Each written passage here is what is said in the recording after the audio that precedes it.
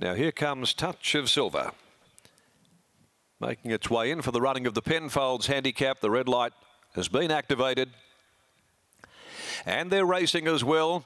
Old Corporate Larrikin, though, sprung the gates first of all, and he's going to lead them through the first 100 metres over Dutch Spy, Patristic, and also Grey Enigma wider out. Bella's Idol fires up near the inside soon after the start from Strike Force.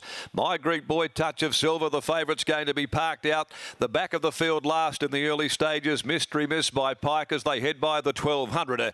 And so out to the riverside of the course they go. Corporate Larrikin led the way a half a length over Grey Enigma, fired up there to sit at the old boy's girth. A length and a half away, Bella's Idol, who's over on the inside of Dutch Spy. There's no luck at all, though, for Patristic, who'd found itself trapped and working three deep, being trailed in turn by My Greek Boy.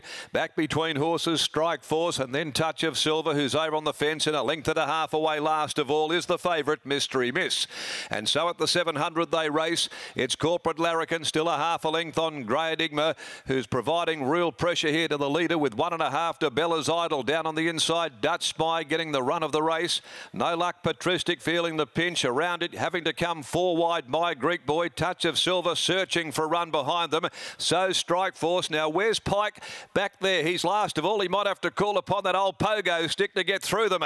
Grey Enigma had hit the front from Dutch Spy, Corporate Larrikin, and back on the outside, Touch of Silver. Here comes the split for Mystery Miss. He saw the eye of the needle open, and look at her burst through. Mystery Miss shot to the lead from Touch of Silver. Oh, it was a bit of a Elite Belle all over again. Came away here and won it easily, Mystery Miss. Second placing, Touch of Silver from Bella's Idol, followed further back by My Greek Boys, Strike Force, and then came on the inside Dutch Spy, Grey Enigma, Corporate Larrikin well back, and Patristic will sleep well after a nightmare of a run wide on the course.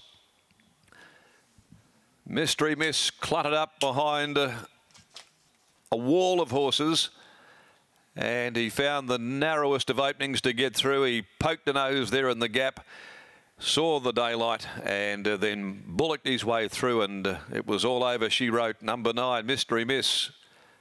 William Pike in the saddle, getting home 280, 130 from Touch of Silver, 250 and 6 Bella's Idol in third placing.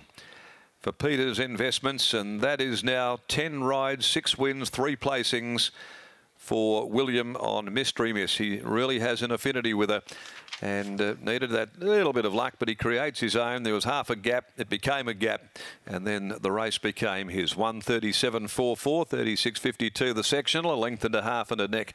The margins 9.26 with four. My Greek boy in fourth placing. A fine win by Mystery Miss, who's back in the winner's circle for the first time in this uh, preparation. Of course, we do remember that railway stakes, that famous railway stakes, when Pike had nowhere to go with Elite Belle. There he was with nowhere to go, and then all of a sudden, after he found his pogo, he was able to get through the opening and uh, win a Group 1. This is no Group 1, but it was a very similar type of ride all the same.